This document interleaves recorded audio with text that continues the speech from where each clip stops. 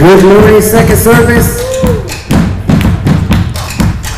Hopefully this, uh, this first area fills up today because everybody's all heavy on that side.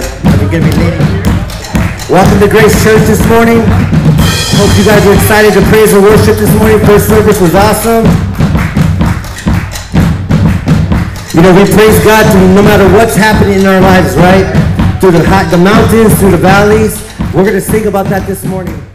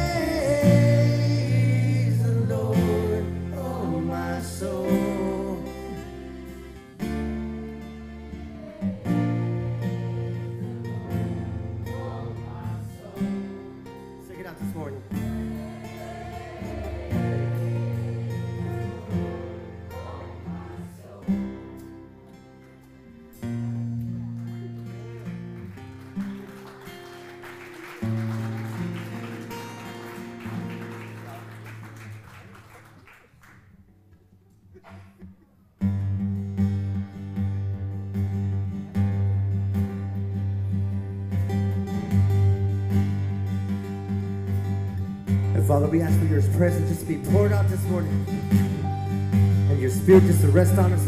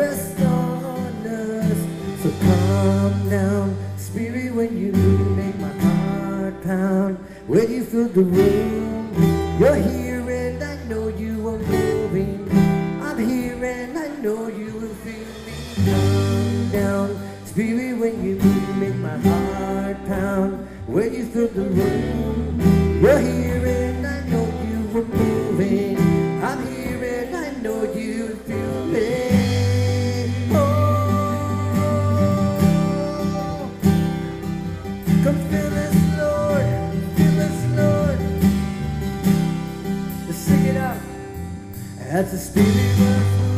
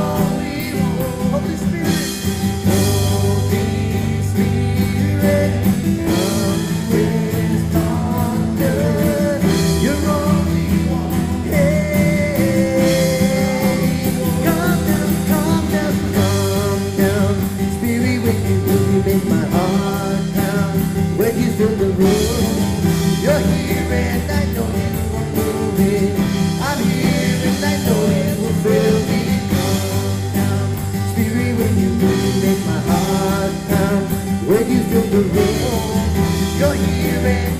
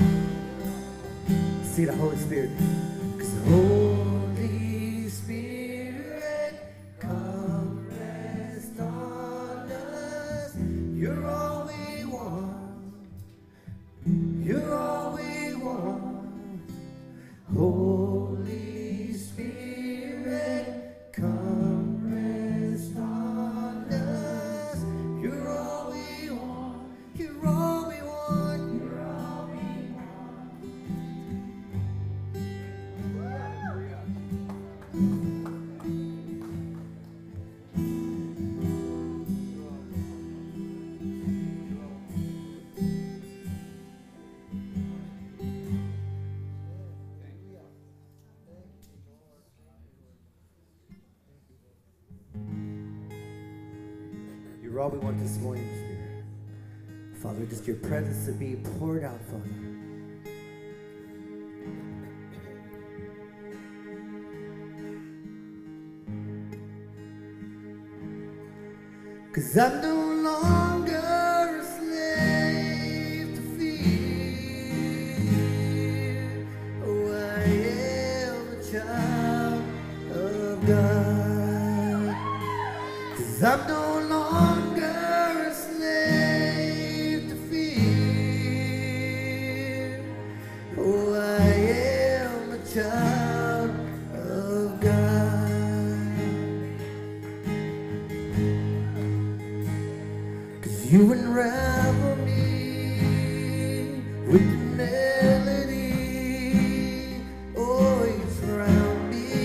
with a song.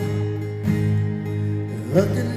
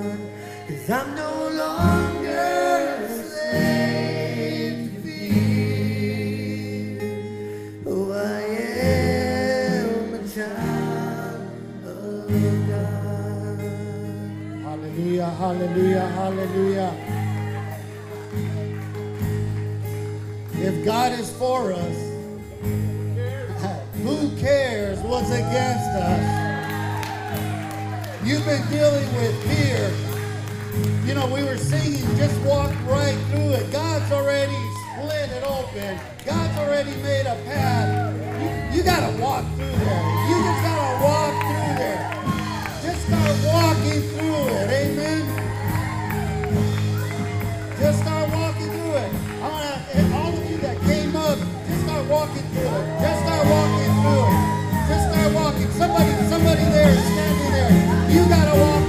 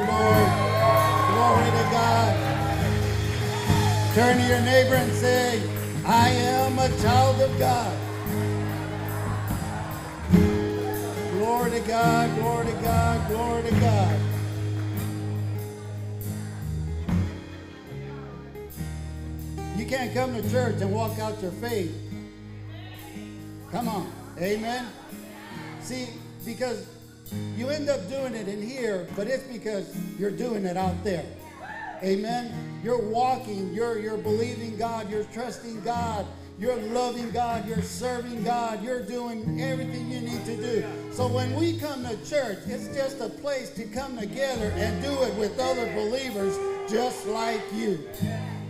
Why? Because it encourages us. Amen. It encourages us. Glory to God. Hallelujah. Amen. Amen. I was waiting for somebody to start running. Glory to God. But we're going to go ahead and take communion. So if you have your elements, grab. The ushers will hand you one. If anyone needs one, raise your hand. Glory to God. Good to be in the house of the Lord. Amen, amen, amen. So if you have your bread, just take your bread. You know, we're blessed. The Bible says that do this in the remembrance of me. Jesus said that. And as we do it, we're partaking, knowing that by his stripes we are healed. And if there's something ailing in your body right now, say, Thank you, Lord. Healing belongs to me. I'm healed from the top of my head to the soles of my feet, Father God. And I thank you for my healing. And as I partake, I remember of you. Go ahead.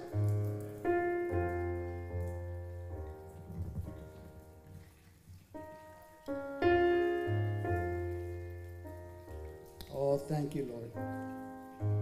Oh, yes, thank you, Lord. Healing is in your body, it belongs to you.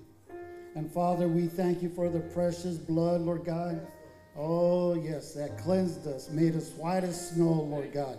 Father, we thank you, Lord, because our own righteousness is not enough, Father God, for what you did for us, Lord God. We are only righteous because you made us righteous, Lord God. So we thank you, Father God, that we can come boldly unto the throne of grace, Father God. Come before you because of the precious blood of Jesus. And we do this in remembrance of you. Go ahead, okay. Amen, amen. Go ahead and greet someone and let them know, yes, you are a child of God.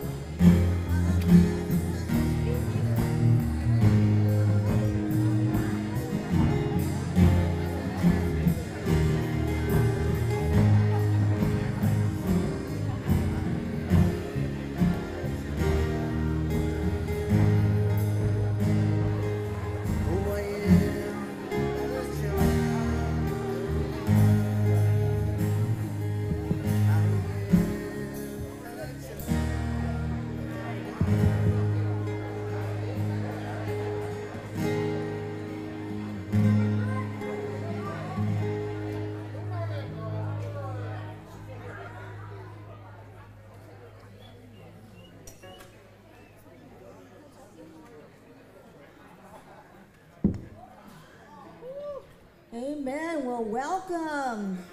How exciting. This service looks excited. Excited to be here. Amen. Amen. Well, on behalf of all the pastors here at Grace Church, we want to welcome you. If there's any first time visitors, we want to say thank you for coming to Grace Church. And if you're looking for a church, you just found one. Amen.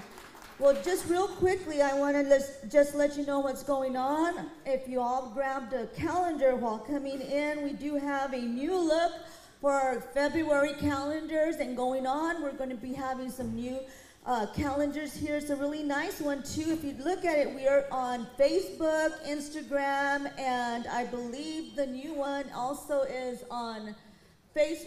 I think Facebook and Instagram, and then the other one is what is it? YouTube. I'm sorry, YouTube. And then there's also a little quiz for you to read on there. And then there's a challenge question here to read uh, 1 Corinthians every day for a month in chapter 13, the love chapter. And then it gives you all the details of what's taking place for this month. Uh, on February the 4th, we have su- on Sunday at 8 o'clock, we have GTR meeting for the teachers and helpers only for the children's. Uh, so make sure if you're a children's helper and teacher for the children's, you're going to have a meeting and it's going to be at 8 a.m. on February 4th. And that also reminds me that on the 10th, you also, the, the nursery workers, anybody that works in the nursery department or helpers, you're also going to have a meeting at 8 a.m. here at the church in the youth building. And that's also for all the nursery workers and helpers on the 10th, okay? And then again, on the 31st, which is Wednesday, we have young adults at 7 p.m. Young adults, how many young adults do we have? Come on now, at 7 p.m. So that's going on there. And then on Friday, G1 Youth at 7 p- p.m. Amen? Do we have youth in the house? Amen. Lalo goes like this. Yeah. Amen. And then in the kitchen today, we're selling bacon and egg chorizo and eggs, chorizo and potatoes for $3. Amen. So that's it for announcements. We want to go ahead and call, before we call Pastor John, we're going to call up Sister Bertha. She's got something to say.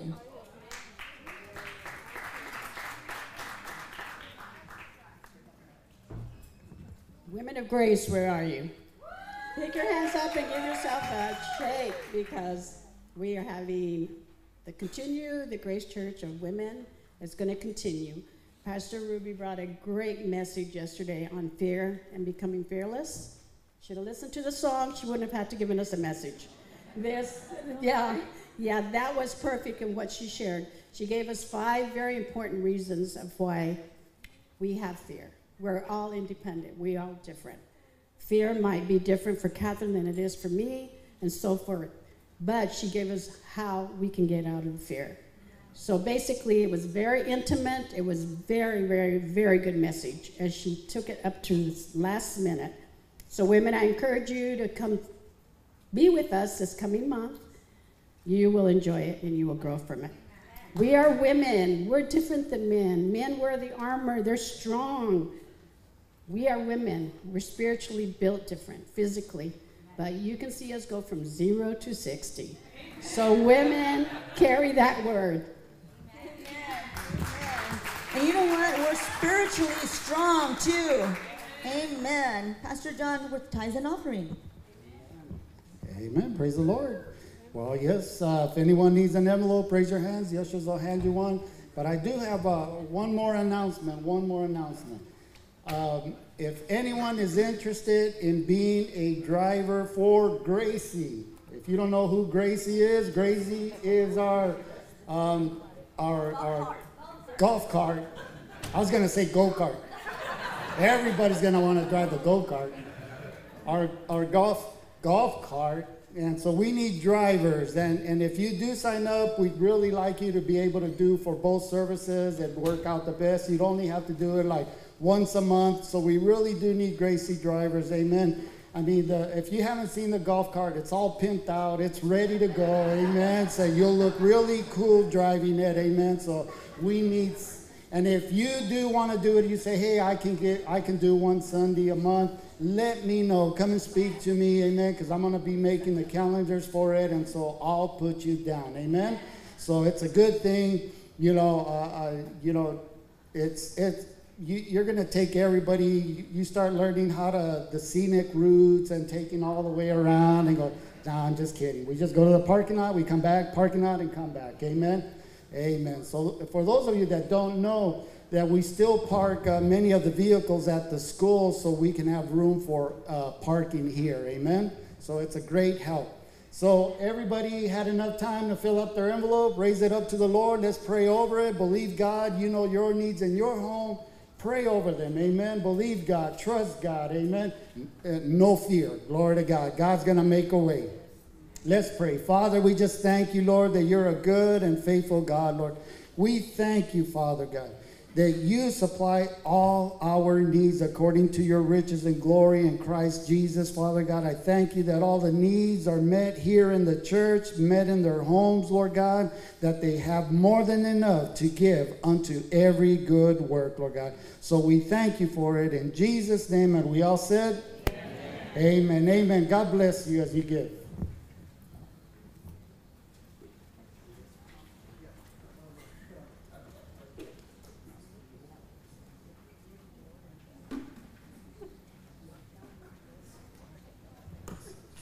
one on. I'm going to use this one first.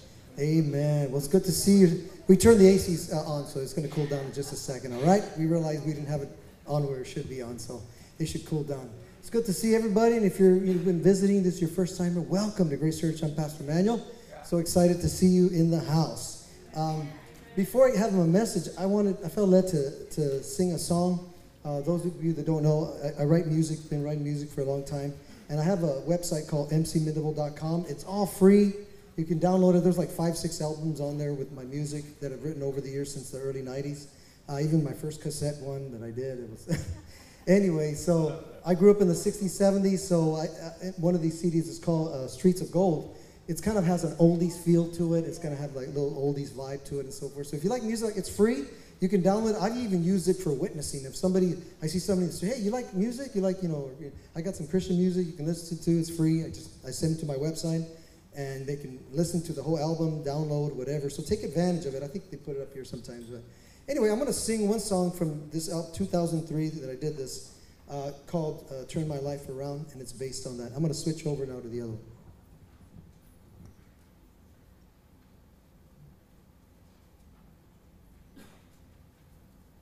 Right, let's see. Go ahead.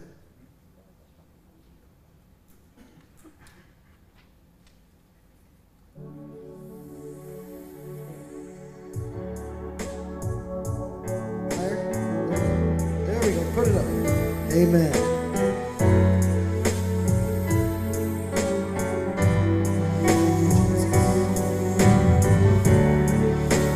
There's no other could ever change me. Ever change me. And Jesus is the one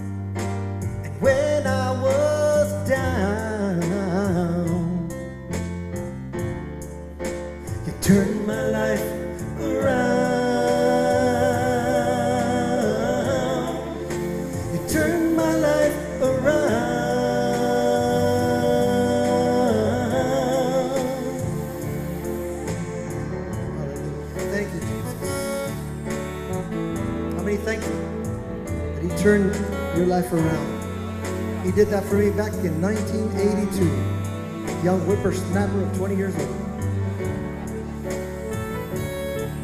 Amen. Thank you, Jesus. We love you.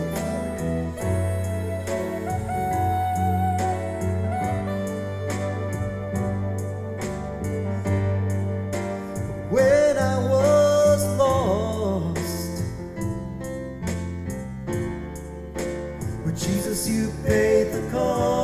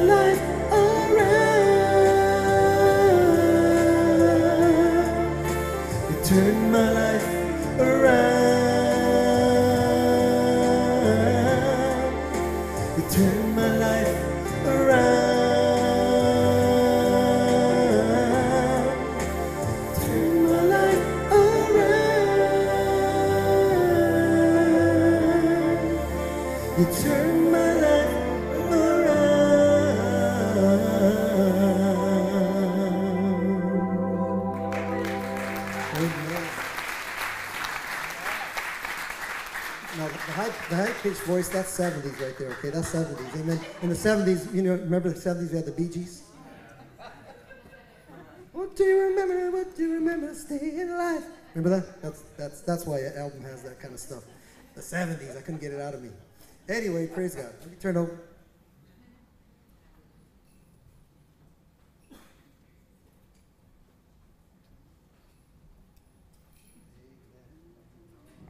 Amen. I love, I love the music in the 60s and the 70s. At least we understood it. Come on now. At least we understood the music. Amen. And then the 50s was kind of just a fun bop, bada, bee, bop, bam, bam, boom, bitty, bing, bam, you know. Bebop. Amen. Listen, you ready for the word?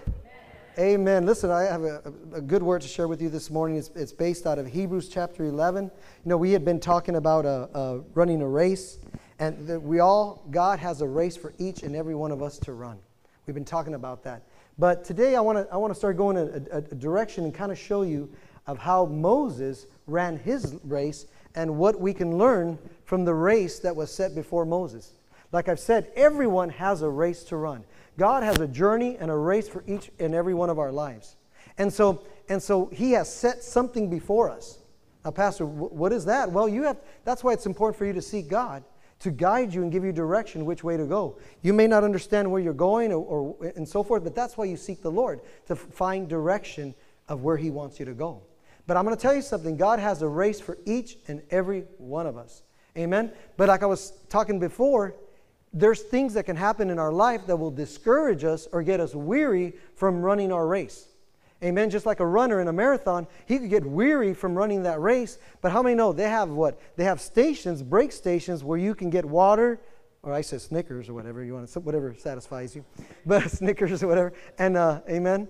And, uh, and, and, and, and what? Peanut butter? Something like, yeah, peanut butter or something. But anyway, what is it for? It's to strengthen your body so you can keep running your race. But the scripture shows us in Hebrews chapter 12 that, you know, keep your eyes on Jesus. Why? Consider him when you're going through a tough time. Why? Lest you become weary and discouraged in your souls. Where can you become weary and discouraged? In your souls, your mind, your will, and emotions. So if we're going to quit running a race for God, it, in fact, there's people that give up on life. They want to commit suicide. And, and you know, again, why? They get weary, they get discouraged. But listen, that's why you have to keep your eyes on Jesus. Why? Because He's the author and the finisher of your faith. He's the author, He's the one that started your race in life, and He's the one that's going to finish it. But you got to keep your eyes on Him. Don't get distracted. Just like the marathon runner, he's focusing on the what? The gold medal. So when, it, when his flesh, when his legs are getting tired or whatever, what motivates him? He's thinking about, man, I'm going to win the prize. Amen. I'm going to the, or the swimmer, I'm going to win the gold medal for it, right? So you see what I'm saying? That's what the Bible says. Keep your eyes on him. So we've talked about that, but today I want to talk about what can we learn from the race set before Moses. So we're kind of backing up from chapter 12 to ch- chapter 11, and let's look at the life of Moses and the race that he ran. So look at verse 23 of Hebrews. We're going to go to Hebrews chapter 11, verse 23. By faith, Moses, when he was born, was hidden three months by his parents because they saw that he was a beautiful child and they were not afraid of, his, of the king's command. Let's pray. Heavenly Father, as we get into your word, thank you for the Holy Spirit giving me revelation knowledge, truth to share your word, and also, Father, give us ears to hear what your Spirit is saying through your word, that we can learn these things in Jesus' name. Amen. So notice the first thing we notice here in verse 23 Moses' parents walked by faith. How? In the race that was set before them, what? Their calling was to have this child, Moses.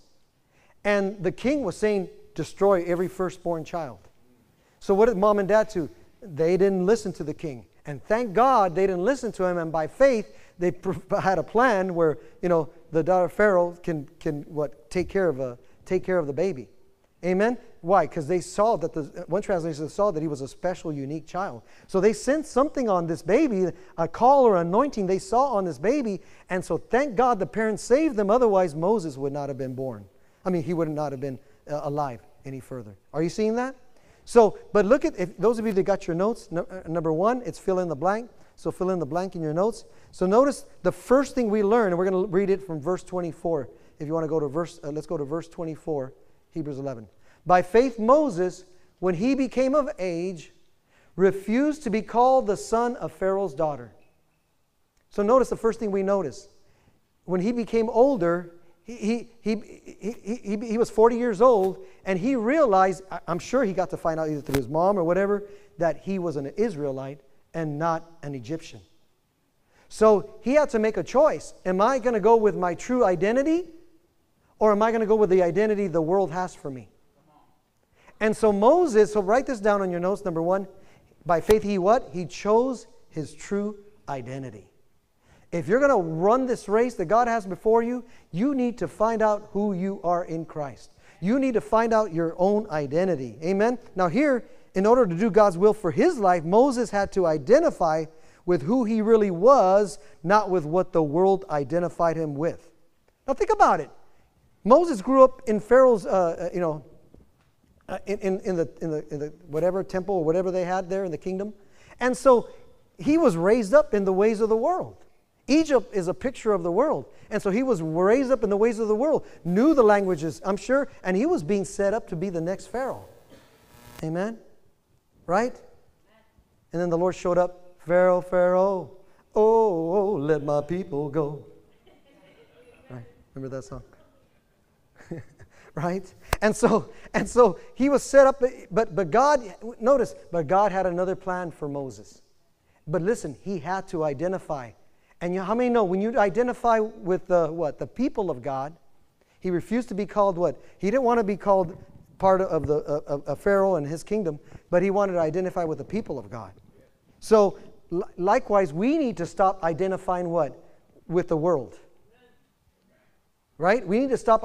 Our identity, if you've received Jesus as your Savior and Lord, you are no longer part of this world. You may be in the world, but you're not of the world.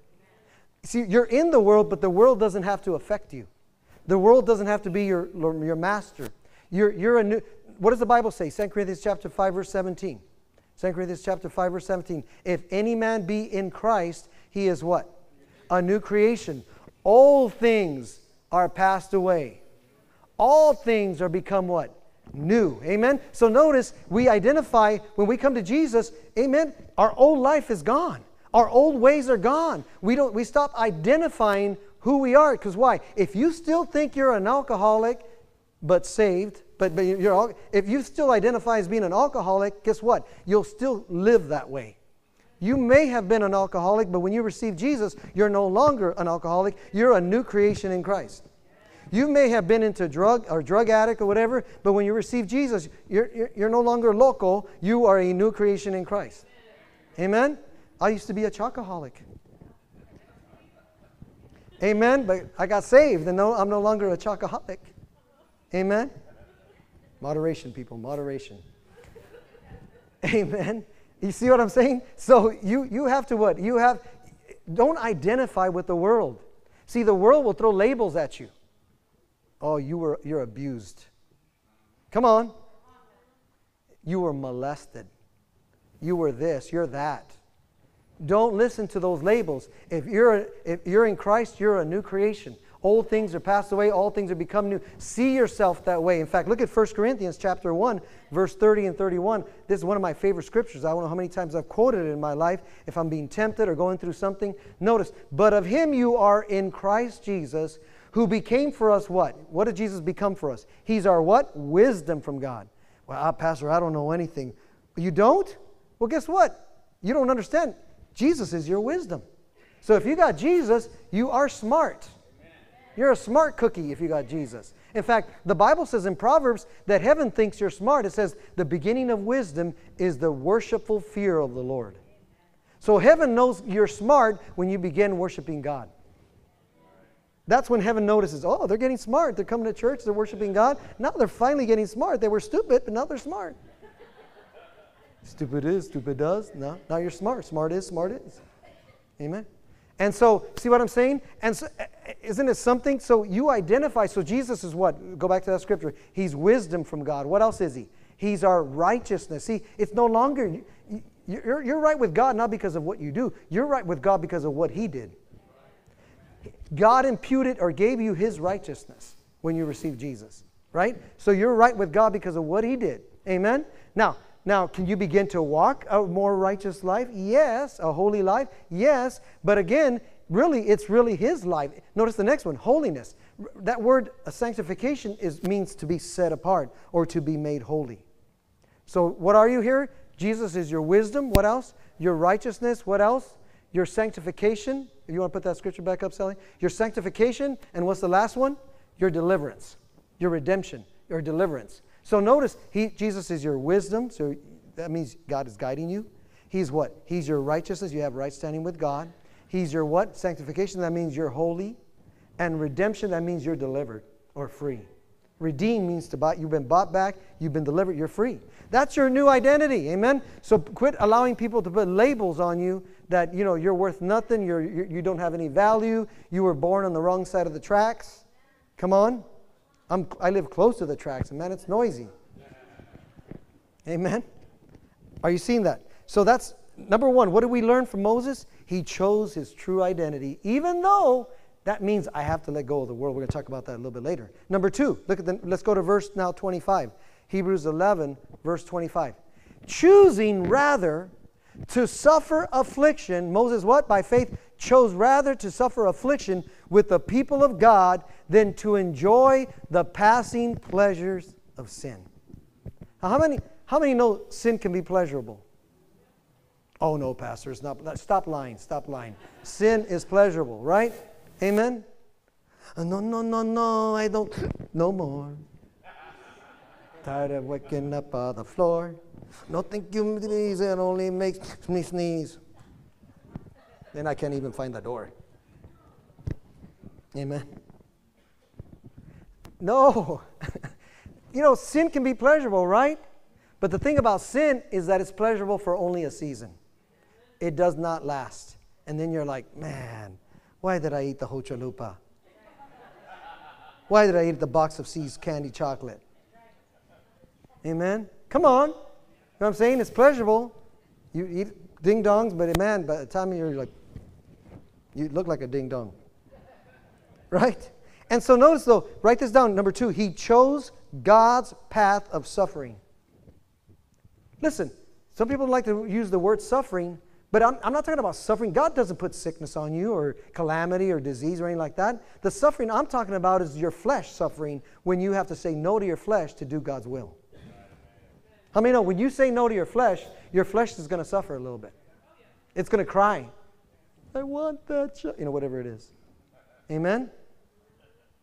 So, so Moses, he chose to suffer affliction with the people of God. He knew if I'm going with the people, and look, they're suffering, they're slaves.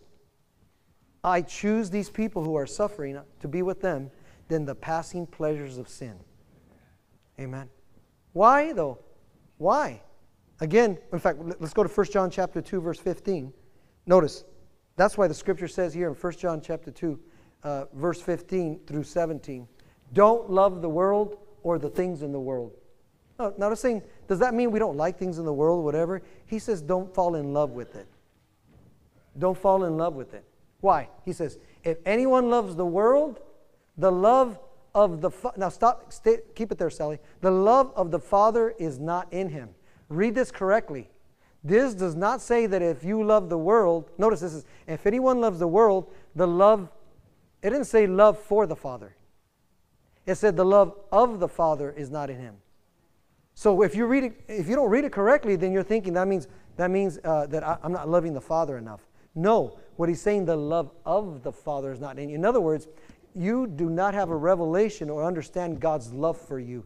If you did, had a full revelation of how much He loves you, guess what? That love for the Father would kick out love for the world. Right? I can tell what you love by your actions. I can tell what you love by what you focus on. Show me where you're spending most of your time, and I'll tell you what you love. Right? And so, so when you when you focus on the love of the Father for you, not your love for Him, because listen, you'll never love God the Father. You'll never love Him enough. Come on, let's be honest. Who here really loves the Father God enough? None of us do.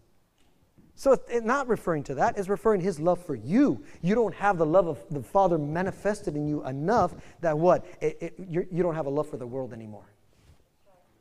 That's good. That's good, I said, right? Are you seeing that? So, so, but why should we choose God's path? Because the world's path can be enjoyable for a season, but it won't last. Notice the next verse. For all that is in the world, the lust of the flesh. How many know? Here's the three basic temptations, all the way from Adam and Eve the lust of the flesh. You know, we want to eat. We know our, what our flesh desires. The lust of the eyes.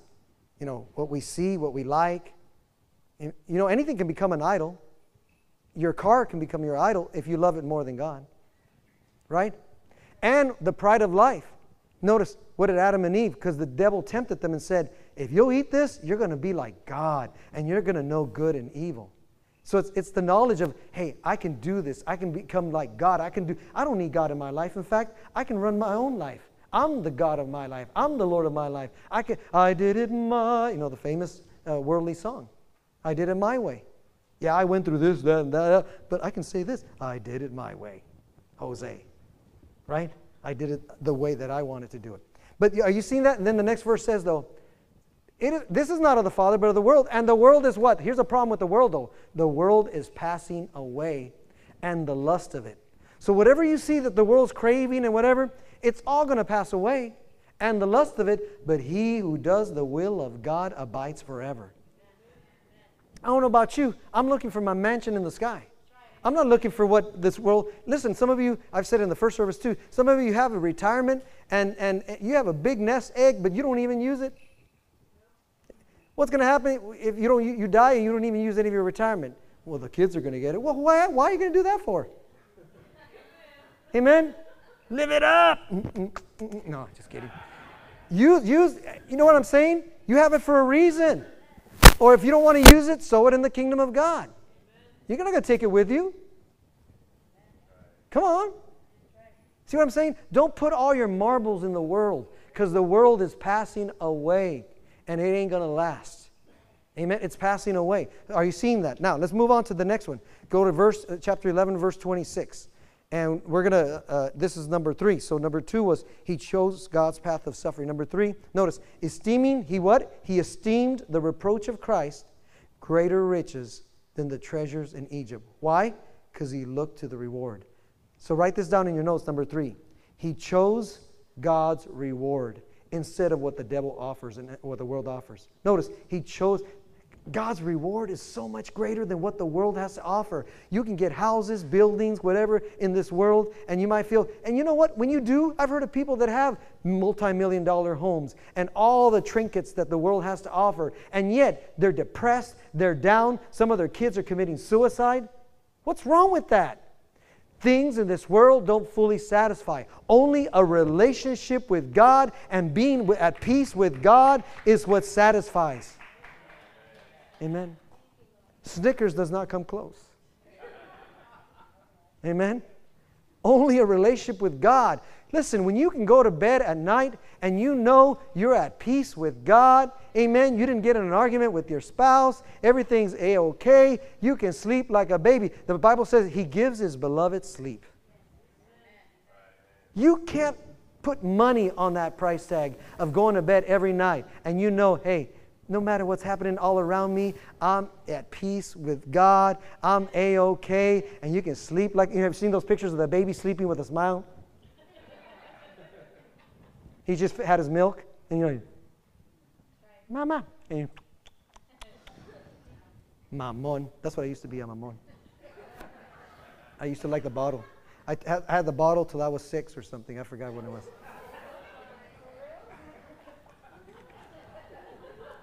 I come home from kindergarten, Mami, quiero la botella. Okay, I feel better now.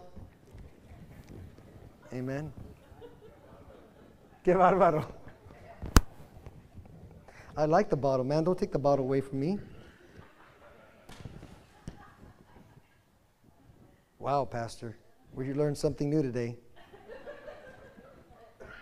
See, Moses was able to choose God's reward as a better deal. Why? By realizing that even the shame of following Christ was a greater riches than the treasures of the world or Egypt. Look, you might be shamed because you're a believer. People might make fun of you because you're a believer. But guess what? The treasures that God has for you are so much greater, it won't bother you. Come on now, it won't bother you. And what the world calls foolish and shameful, God says, that's you're smart. And look at, look at these scriptures. 1 Corinthians chapter 1, 1 Corinthians chapter 1, let's go to verse 27. But God has chosen what? The foolish things of the world. Do you feel foolish sometimes? But guess what? God chose you. Glory to God. Amen.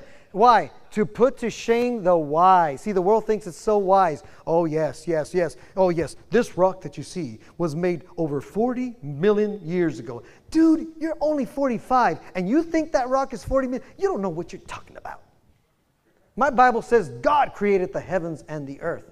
If I, if I know, that, that's all I need to know. In the beginning, God created the heavens and the earth. That's all I need to know. All this other stuff of billions and billions years ago, and you're only 35 years old and you're telling me this? I don't think I believe you. I'd rather believe God's word that's been around for 3,000 years and has still stood the test of time. And you're only 45 years old and you think you know that all this happened. Oh, yeah, that's carbon dated. It's, it's been 5 million years ago. Shut up.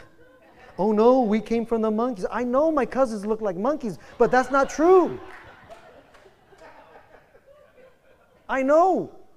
They act like apes, the planet of the apes over there in my house sometimes. Cochinos. Clean up your things. You're acting like monkeys in here. Right? Let's keep reading. But God has chosen the foolish things of the world to shame the wise, and God's chosen the weak. Do you feel weak sometimes as a Christian? He chose you, the weak things of the world, to put to shame the things which are considered mighty in the world. Next verse. And the base things, you feel low, base? Base things, meaning we're not feel like you're not worth it. Amen? Amen? And you try to build up your self esteem by listening to that commercial. Ooh, baby, I'm worth it. You don't have to do that. You're already worth in Jesus. Amen? Things which are despised, God, notice, you feel despised sometimes? Looked down on by, by people? Well, God's chosen you. Why? And the things which are not, you feel like a nothing? things that are not. Do you feel like nothing? Well, guess what? To bring to nothing the things that are. That no flesh should glory in us. See, nobody, nobody can take credit for what God does. Nobody can take credit for what he does. And then Hebrews chapter 13, we're going to go to Hebrews chapter 13, verse 12 through 14. Here we see Jesus. Therefore, Jesus also, that he might sanctify the people with his own blood or make them holy, he suffered what? Outside the gate. What do you mean? Out in the world, in other words. He suffered. Lord, Think about Jesus, the shame that he bore on the cross practically naked, and people making fun of him, right? Think about that. Next verse uh, of that, uh, verse uh, 13, I think. Therefore, let us do the same thing like Jesus. Go forth to him outside the camp, bearing what? His reproach. Are you ashamed to, to tell people you're a Christian? Are you ashamed to tell people you're a believer? You shouldn't be. We should bear our own. In other words, they might make fun of us, but we shouldn't. Let's be like Jesus and let's go outside too and not be ashamed to stand up for him.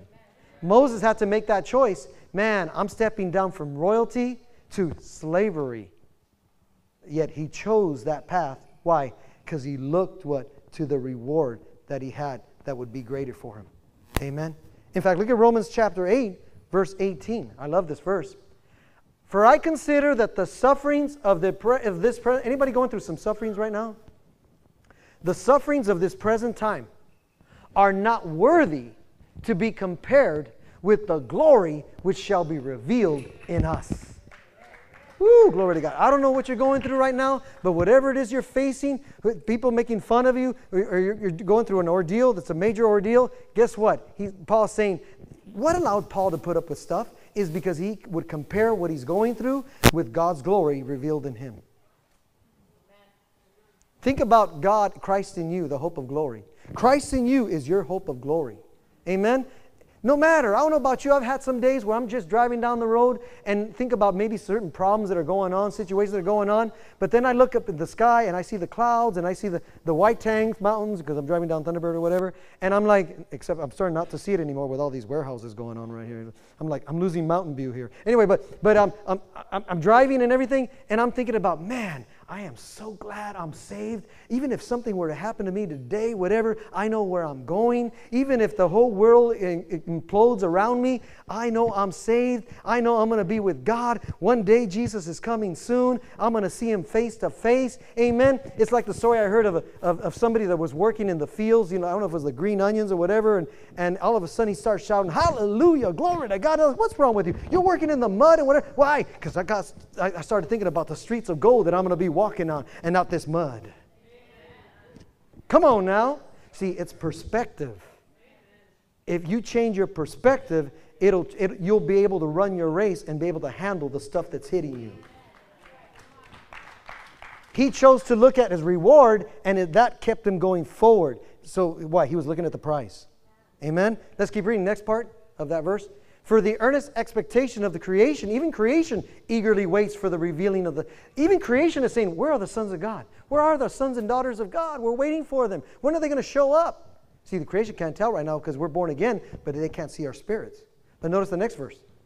For the creation was subjected to futility, not willingly, through, in other words, through Adam and Eve, but because of him who subjected it in hope. But look at verse uh, 21 because the creation itself also be with, listen when jesus comes back and we go th- and, and the world goes through the tribulation and we're in heaven with him after that when he comes back in the new millennium what, what, everything's going to be restored. Notice because creation itself also will be delivered from the bondage of corruption into what? Into the glorious liberty of the children of god. Amen? Notice we have glorious liberty. That's our freedom. And guess what? Creation is going to be delivered too. Amen Amen. The monkeys are going to start acting right now. Amen. The apes and every, everybody's going to start acting better.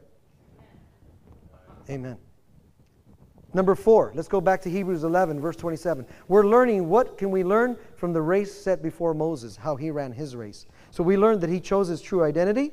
He chose God's path of suffering. He chose God's reward. He kept his eyes on the reward instead of the shame.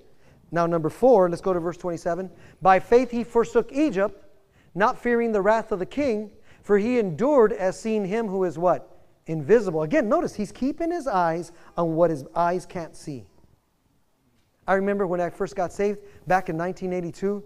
Oh my God, I was so in love with Jesus, and I still am, but you know, that freshness and everything. And I, because I would drive all the way down to Glendale because that's where my church was on 59th and uh, by 59th and Glendale at Word of Life. Uh, it was it was a Word of Faith church, and it was on the radio. And so my my one of the ladies from a one of my sponsors from high school, I told her that I was saved, I got saved, and she's the one that invited me to the church. And so every I would drive down Grand Avenue, you know, every every weekend and every Wednesday to go to church. And they had Sunday service too.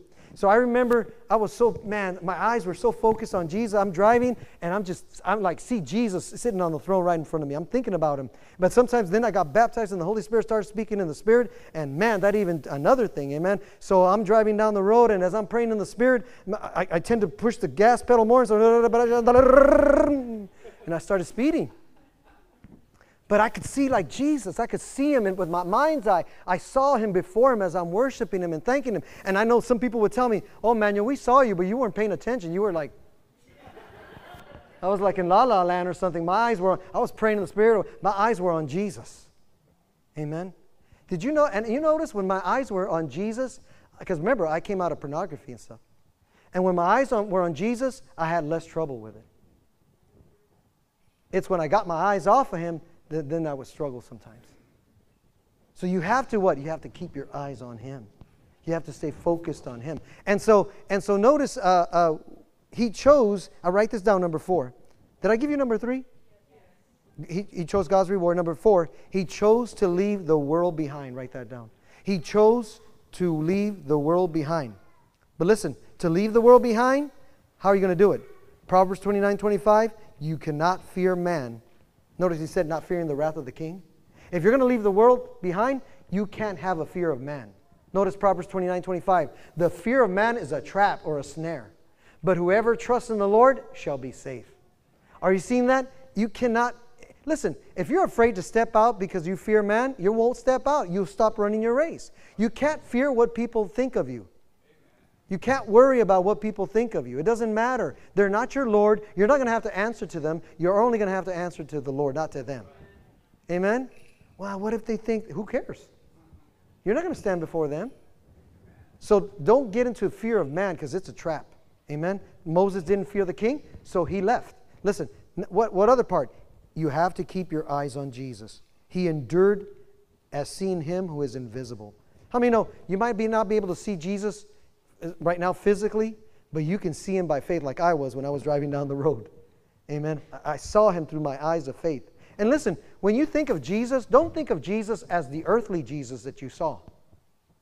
In fact, when we're worshiping here uh, uh, you know, during praise and worship, don't think of Jesus as the earthly Jesus that you saw. He's no longer like that.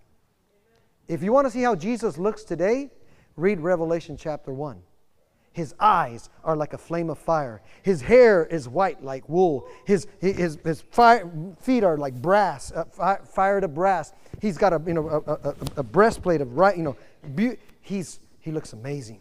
Better than Fabio. Amen. Amen. With his hair, you know what I'm saying? And the Bible says this face sun shines like the sun in its strength. That's how Jesus is in his glory right now. He's not the earthly Jesus that he was. Why? Because he got resurrected with his glorified body. Hmm. So when you're worshiping Jesus, when you're thinking about him, don't think about him just like just the earthly Jesus. No, think about him in his resurrected form and the way he is. Amen.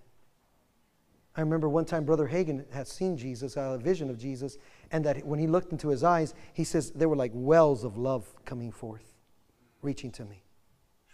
Amen. Because why? God is love. Amen. So notice 2 Corinthians chapter 4, verse 16 through 18, talking about how he chose to leave the world behind by what? Not fearing man and keeping his eyes on Jesus. Notice, therefore we do, and do you have it in the NLT too? Go, go and put for time's sake. Let's go and just go to the NLT. This is why we never give up. Come on now. Hallelujah. Though our bodies are dying, how many know our bodies are starting to get older? Man, I don't know what happened. I remember back in the 80s, I was so young. Amen. This is why we never give up. Though our bodies are dying, our spirits are being what? Renewed every day. Thank God you may, you may be getting older on the outside, but guess what? You're newer and newer on the inside. Amen? That's why some people don't understand. You might feel old on the outside, but in the inside, you still feel like a child, right? You love to do fun things and whatever. Why? It doesn't change, man. Amen? Right?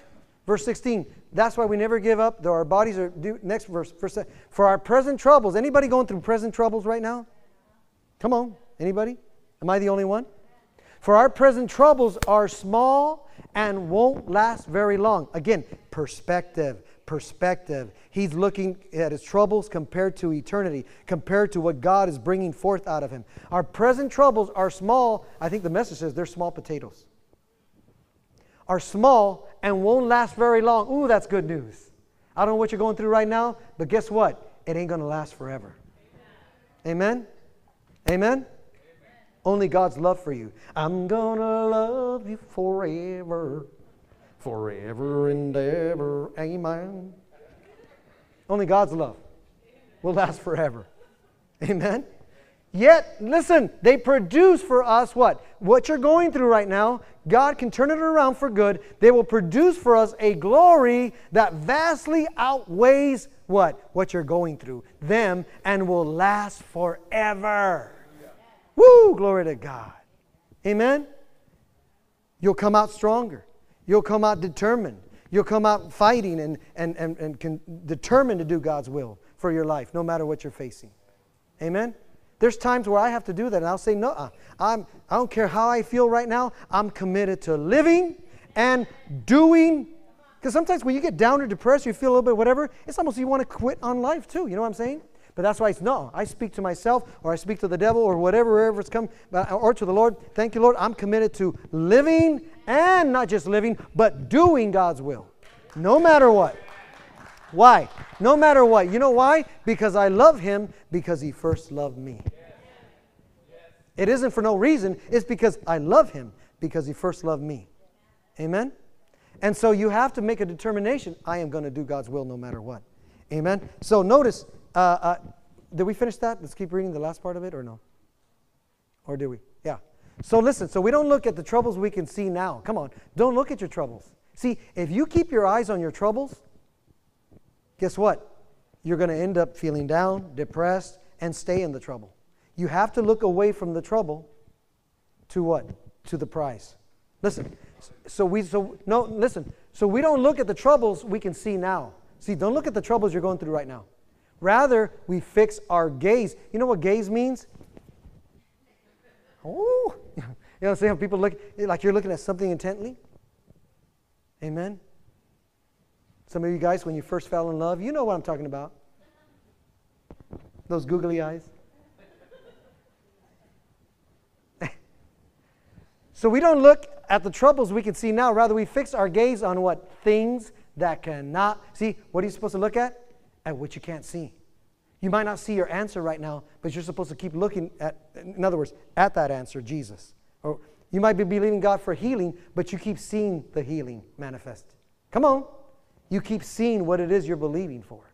See what I'm saying? Or, or you know, keep your eyes on the Lord. Listen, we fix our gaze on the things that cannot be seen. So, in other words, the Bible says, in, in, in I think it's uh, Colossians 3, you know, where set your mind on things above, not on things on the earth. Why? Because you died. What do you mean, me? The old you died, and your life is hidden with Christ in God.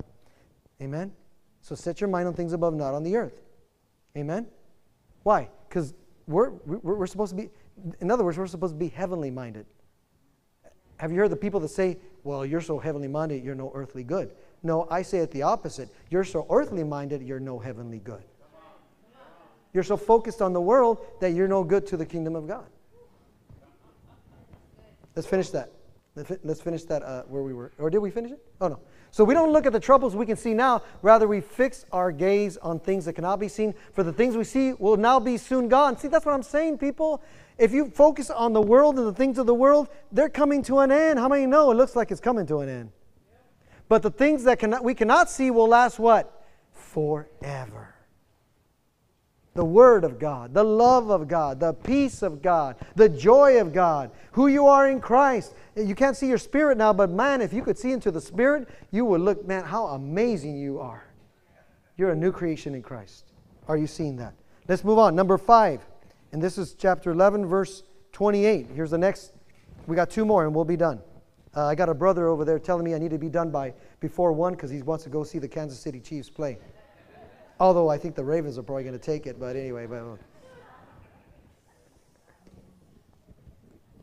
Listen.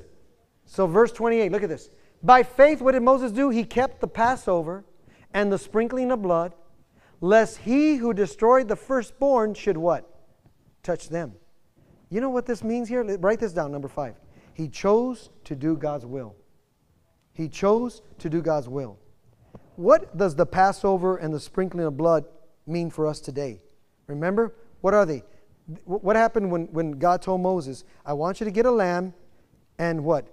Kill it by the door of your house, take the blood and anoint the, you know, the lintels and so forth and the doorposts. And when the death angel comes, that firstborn son that's in the house will not die. But where the blood's not applied, he will die. So the angel came and he what? Passed over. Well, guess what? It's talking about our what? What Jesus, his, his death, burial, resurrection did for us. Why? Why? The doorpost is the cross. And what was applied on the cross? Jesus' blood was applied on the cross. And when you come to the cross, guess what? You get saved. And guess what? The death angel passes over you. You go from death unto life. So it's all a picture. So what are we learning here then? In other words, by faith, you need to exercise your authority of what Jesus did for you in his death, burial, and resurrection. Why? If you don't apply the blood, in other words, if you don't, if you don't uh, uh, take authority with the, what Jesus already accomplished for you, then guess what? You can be touched with sickness. You can be touched with. Notice, notice the death angel couldn't touch them. Why? Because they were passed over. Why? Because of the death, burial, and resurrection of Jesus. That's the type and shadow of the Lamb. And, and check it out. You know what they did? After they killed the lamb at the doorpost, you know what they did? They went inside the house and ate lamb. You notice how we're taking communion every Sunday? You know what you're doing? You're doing that type and figure. You're eating the lamb. You're eating the bread. That's what they did. And guess what? The next day when they left, they said there was not one feeble among them. In other words, everybody got strengthened and healthy by eating the lamb. Amen. I take communion every day except Sunday because I take it twice here. But every day in my house, I, have made it, uh, uh, it's not, I don't do it religiously. I do it, I, I, God dealt with me. I, learned it when I heard uh, Joseph Prince talk about it and, and other people, and all of a sudden miracles started happening. People started getting healed. And, I, and, and it, God dealt with me for that, to do that too. And I've been doing it for years now. And that's how it helps me. I get over colds and stuff quickly and everything. Why? I take communion every day. I get up after I read my word, then I go take my communion. I, yeah, if I don't have, I just get water, a little cracker that I buy these little crackers, and I take my communion. And I remind my body that I'm healed by Jesus' stripes. So every day, what am I doing? I'm applying, I'm applying, exercising my faith, believing. See, and that's by faith. Moses did that when God told him, apply the blood, eat the lamb, and then what? Their deliverance came the next day. Whew. Why do you think Jesus, when he fed the 5,000, he took the bread and he what? Broke it. He was thinking about that. I'm the bread that's broken. You need a miracle in your life? Take the bread and break it. Oh, when, you, when you think about Jesus and his finished work, that's why you get your miracle because of Jesus, not because of anything you do. He fed 5,000 that day when he broke bread. Are you seeing that? Amen? So uh, that's what it means. You need to enforce by faith what Jesus already accomplished for you. Now, number six, go to verse 29. Hebrews 11 29, number six. By faith they passed through the Red Sea as by dry land, whereas the Egyptians, attempting to do so, were drowned. Now, this is a very interesting verse. I want you to write this number six. He chose to walk by faith. And really, the whole chapter of Hebrews is about walking by faith in the race that God has set before us. It's a race of faith we're in. You got, in other words, if you don't feel like walking, you get up and you still walk. if you don't feel like running your race, you get up and you still, by faith, you don't have to feel it to walk it. You don't have to feel it to run it. Are you seeing that? See, that's why we were taught faith. If, you're, if you don't feel it, you still walk it, you still talk it, you still run. Come on. Moses was obedient to God's word spoken to him. He just had to what? Trust God no matter the fact that a sea was before him and Pharaoh's army was behind him. God just told him to what? Stretch out his rod and what? And he did it and God did it too. Amen. So in other words, in fact, go ahead and go to Exodus 14:10. Here's the point. Here's the point. You have to step out in faith to do what God told you to do. Come on. Now, did you notice? Did you notice that the Pharaoh and his army, they walked into the what? Into the Red Sea too? Now, did God tell them to do that? Come on. Did he? No. Listen, here's where people get mixed up on faith. Faith, if God shows you something and tells you to do something and you have the faith, He's showing you, then good, step out and do it. But Pharaoh thought, oh, they're able to walk, you know, through the Red Sea, whatever. I guess we could do that too. That's like some Christians that say, you know, some brother was led by the Lord to donate, to give their car to somebody else, right? And then God blesses them with a brand new, greater car. And so a Christian, oh, if he did that, I can do the same thing. And so that other Christian gives his car away, and there we see him walking down the road. Why? Did God tell you to did God tell you to give your car? No, but brother so and so gave his car and God blessed him with a greater car.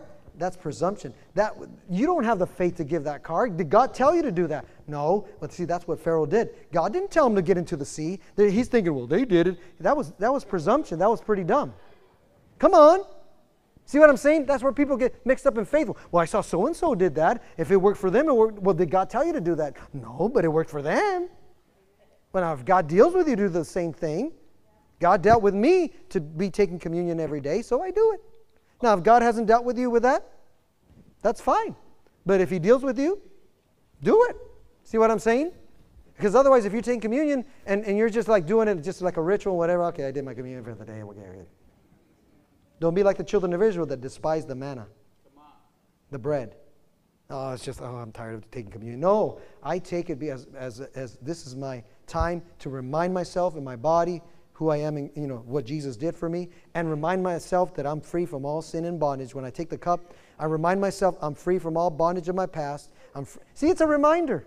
Jesus said, Do this in remembrance of me. See what I'm saying? So, so are you seeing that? Uh, don't. Sometimes people think they're in faith, but God didn't tell them to do that. And that's why things don't happen. And they wonder, see, it doesn't work. I trusted God and it didn't happen. Come on. Look at Exodus 14 10 through 14. I'm almost done. I'm trying to close here. And when Pharaoh drew near, the children of Israel lifted their eyes, and behold, the Egyptians marched after them. So they were very afraid. And the children of Israel cried out to the Lord. So, man, here comes the army of Pharaoh. Next verse. Then they said to Moses, Because there was no graves in Egypt, have you taken us away to die in the wilderness? Why have you dealt with us to bring us up out of Egypt? In other words, they, they, look at this. They want to go back to the world. Is, is this not the word that we told you in Egypt, saying, Let us alone, that we may serve the Egyptians? Why would you want to go back and serve the world? For it would have been better for us to serve the world or the Egyptians than that we should die in the wilderness. See, when you're going through a trial, you think, man, is this worth it? Some Christians, just because things you go through troubles, they want to quit running the race. They want to give up running the race. No! Don't go to about it, Pastor. I had it better when I was. No, you didn't. The world, does- does- you didn't have it better when you were in the world. You were all, all messed up, tore up from the floor up. Come on. You were messed up, like, you know what I'm saying? You were lost. You were on your way to hell. Just because you're going through some troubles as a Christian, now you want to quit and give up? No. Let's keep reading. Where, uh, next verse, or did we read it? Say it. And Moses said to the people, Don't be afraid. We just sang about it. I'm no longer a slave to fear. Stand still. That's faith right there. Relax, rest in God.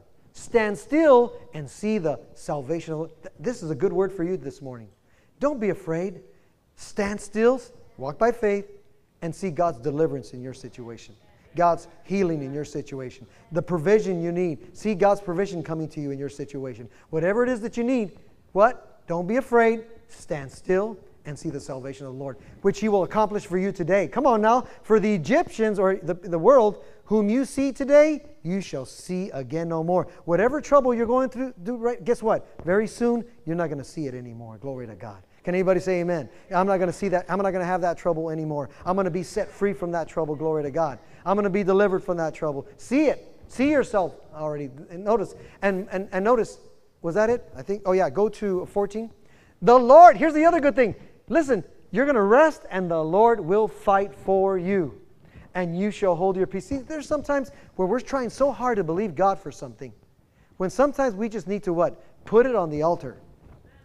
Give it to God and let Him deal with it. Come on. Rest.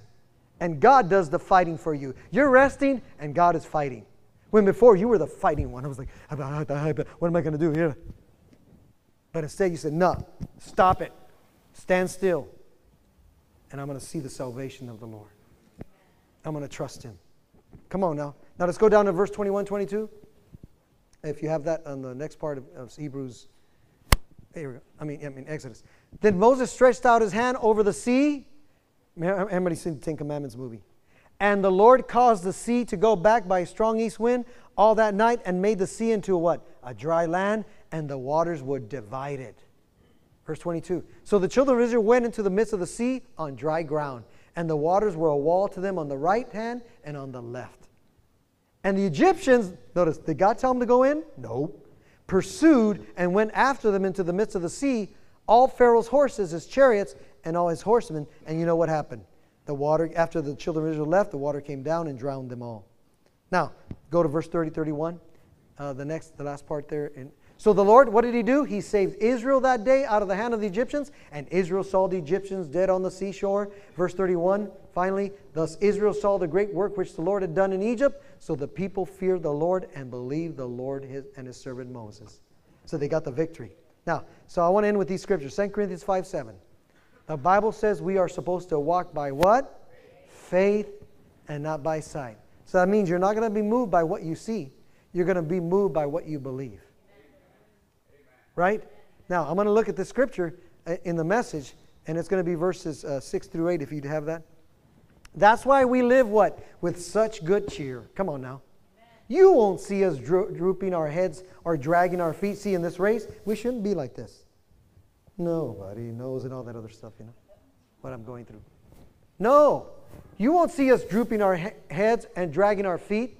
Cramped conditions here don't get us down. Come on now. They're, they only remind us of the spacious living conditions ahead. What are you talking about, Pastor? Well, Jesus said, I, I'm, I go to prepare a place for you, and if I go to prepare a place for you, I'm coming again. He's, he, he's, he's, he's making a mansion for you. Spacious living. Amen? Over there, we're not going to have little small houses. Come on. I know we got a, a small house revolution going on. Not in heaven. It's a mansion. Amen? It's a mansion. You can yell and you won't hurt. You won't, you know, you know what I'm saying? You're far enough. Amen? Here, you're so close in the houses or whatever. My God, you can't even do, you know, burp or anything because the neighbors are going to hear. Amen? You won't see us drooping. Listen, listen. They only remind us of the spacious living conditions ahead. I wasn't thinking that you were. I was thinking of it. I, I lied. You can't even toot because somebody else will hear it, you know. It's what we trust in, but You go to the window and there's your neighbor. Hi. You know, this is they only remind us of the spacious living in his head. It's what we trust in but don't yet see that keeps us going. Listen, it's what we trust in but don't see that keeps us. Keep your eyes on what you don't see. Keep your eyes on the gold medal. The runner keeps thinking, the, the, the runner doesn't have the medal in front of him, but he sees it by faith. He's seen him stepping up to the podium and the gold medal being placed on him. He sees it in his mind's eye, and that keeps him going. The same way, you may not yet seen your healing, but see yourself healed. See yourself prosperous. See yourself delivered. See yourself free. See yourself the way God sees you. You're believing God for a ministry, whatever. See yourself doing what God wants you to do. And then you'll see the result eventually. Amen? Are you seeing that? Let's finish it up. Do you suppose a few ruts in the road or rocks in the path are going to stop us? Come on. Have you hit some rocks in the road? Have you, hit, have you stumbled? When the time comes, will be plenty ready to exchange exile for homecoming. Come on now. See, we're waiting for the day. So as you run this race of faith set before you, choose number 1 to know who you are in Christ. Choose number 2 to choose God to choose God's path of suffering for his sake. And by faith number 3, choose God's reward, not the world's false treasures. Number 4, choose to leave the world behind. Number 5, choose to do God's will enforce the authority you have as a believer. And number five, choose to walk and run this race you're in by faith and not by sight. Hallelujah. Father, thank you so much. I'm going to open up the front. If you need prayer this morning, you want somebody to agree with you or pray with you, you need healing in your body, or you just want, you just want to be encouraged, strengthened in this race that you're running, and, and, and, and, and to do some of these things we're talking about here, I want you to come on up, and, and we have prayer people that are going to pray with you and stand with you as, as we begin to sing here in a little bit. So if that's you, you need prayer this morning. Listen, if you're feeling down, if you're feeling depressed, and especially look, any especially if you're you're, you're at a point where man, you, you're thinking of quitting, don't do it. Come up and get prayer. Come up and receive prayer. Amen. Come up and receive what you need this morning. Don't allow the enemy to cause you to stop running your race. If you're feeling discouraged, if you're feeling weary, please come up and get prayer this morning. Come on. Come on up as they sing. Come on. Hallelujah. Go ahead, brother. Thank you, Jesus. Oh, we worship you, Lord Jesus. Thank you, my Father God. Thank you, Jesus. Oh, we thank you, Father God. We magnify you and we give you praise, Lord God. Thank you, Jesus. Thank you, my Father God. Thank you, Father God, for your goodness, your mercy, your grace, Father God. And Father, I pray for those here that are here for our people, Lord God anybody here that's thinking of giving up, that you would strengthen their hearts right now, strengthen their soul, strengthen their mind, strengthen their body, quicken them in their inner man, that they would not quit running the race. Lead them and guide them by your Spirit on what their next steps are. Give them a desire to seek you, to seek your wisdom and your guidance in the name of Jesus. Lord, perfect the things perfect the things that concern everyone here in the sound of my voice and those that are watching. I want you to say this Heavenly Father, say it with me. Come on. Heavenly Father, in the name of Jesus, have your way. Not my will, but your will be done. I don't want to run my race. I want to run the race that you've set before me. Help me, Lord to always choose your path, to not go the way of the world, to walk by faith and not by sight. Help me to keep my eyes on Jesus, the author and the finisher of my faith. I trust in you. I refuse to fear man. And by faith, I will do your will for my life. In Jesus' name. Amen. Amen. If you agree with that. Anybody else need a prayer? Go ahead, brother. You want to do a course? Thank you, Jesus. Let's worship God a little bit.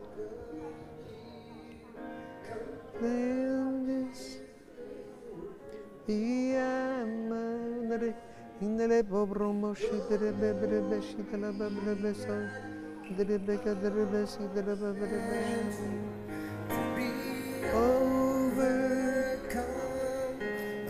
presence, Lord.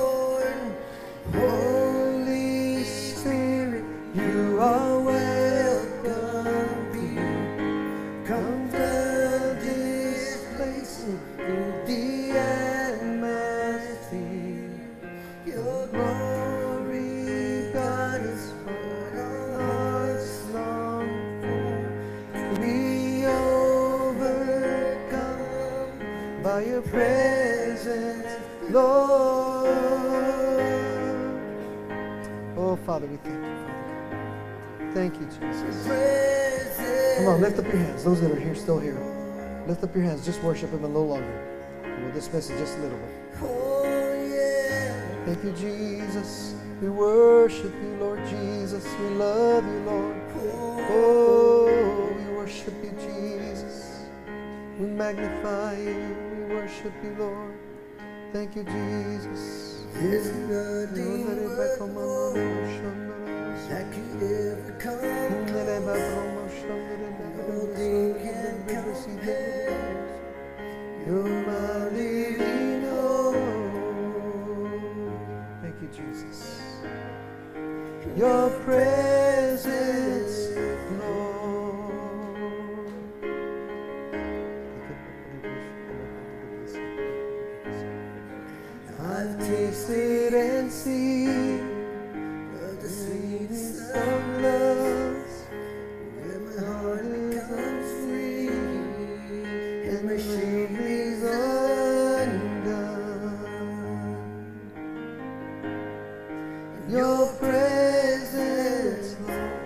Let's sing the chorus one more time, then we're going to dismiss. Let's sing that one more time. Holy Spirit. Holy